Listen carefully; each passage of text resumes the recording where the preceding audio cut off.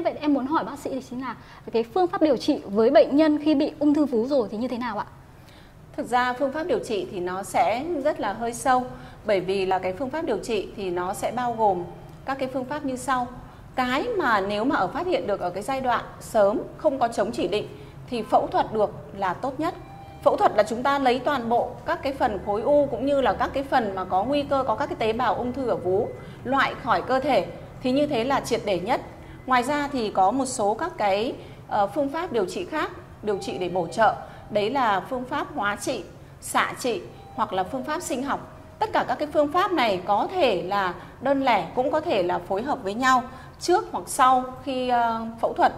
Ừ, thì tất cả những cái phương pháp này sẽ phải do bác sĩ chuyên khoa đánh giá từng giai đoạn của uh, cái bệnh nhân mà bị ung thư vú để đưa ra một cái quyết định phù hợp chứ cũng nó cũng không giống nhau cho tất cả các trường hợp.